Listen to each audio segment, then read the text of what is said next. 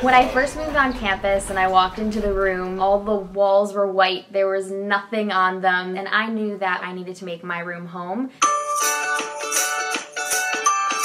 I brought pictures from home, my colorful sweaters, my decorations, inspirational quotes, my necklaces, everything that I thought I would need, I brought. I remember coming in on move-in day and I was just really freaked out because I'd never lived away from home. And it was hard at first, but I think the first semester of my freshman year, there was so much going on and I was so busy in a good way that I didn't really have time to get very homesick and I was really lucky. I, I really liked my roommate. We were best friends, so it was a really nice comfort system and you know family away from home. At least I, I know I'm from a big family. Me like I, I'm one Yeah. of five kids, One of three. and so and we're all always together. And like it's a, it's too big of a transition to just come and live by yourself. college is a completely different environment. I mean, it's completely different from high school, and you have all these different type of pressures, and it's just nice to have someone when you come back be there for you. And she was there for me, and and that even helped us to click even more, you know, because because she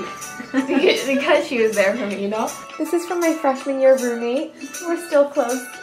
Res Life chose my roommate for me. I actually have no one from my school or anything who's here, and they did an amazing, amazing job picking roommates. Um, I love my roommate. Actually, this is really embarrassing, but I was hiding it. But I actually, I brought Barney from home. Like, I got here, and my roommate was like, "I'm the same Barney," and I was like, "What? Where am I?" We're like best friends. Everyone has always asked us like, did we choose to room with each Yeah, other? Like, no, we just exactly. met the first Yeah. day of school. But also, you learn how to live with someone, which is important because you're not always going to have your own house, your own room, your own apartment. If I'm playing music too loud or something, she's not afraid to tell me. And I think that's that says a lot about Our relationship. Yeah. You know.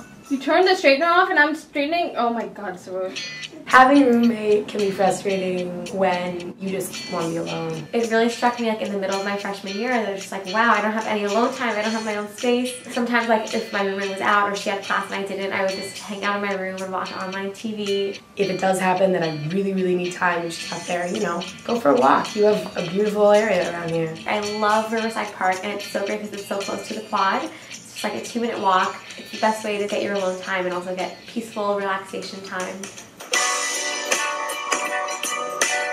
Everything is so accessible to you. You can walk out of your dorm and be at the subway stop, and the entire city is open to you. when you're already living in the city, you're able to, you know, wake up at 7 in the morning and go wait at the box office to get student rush tickets for a Broadway show. You're able to go out with your friends and, like, come back from a late dinner. It's a challenge living in New York because there's so much to do, but you really need to find that balance between going to the library and doing your homework, going to class during the day, making time to eat dinner, change your sheets. There will be events off campus and on campus, and I think that Barnard gives you the good balance of giving you enough room to grow on your own and give you the support that you need in order to grow in the four years. It's one of the best experiences and one of the most necessary experiences a college student needs to go through just to mature and be able to live on their own and learn how to take care of themselves. And Barnard does a great job of allowing that transition to be as easy as possible. They really are there, you know, reaching out and trying to get you to find your way. So don't put the pressure on yourself that you think that move-in day you need to know exactly what classes you're taking, how you're going to get your textbooks, how you're going to decorate your room, who's going to be your friends for life. It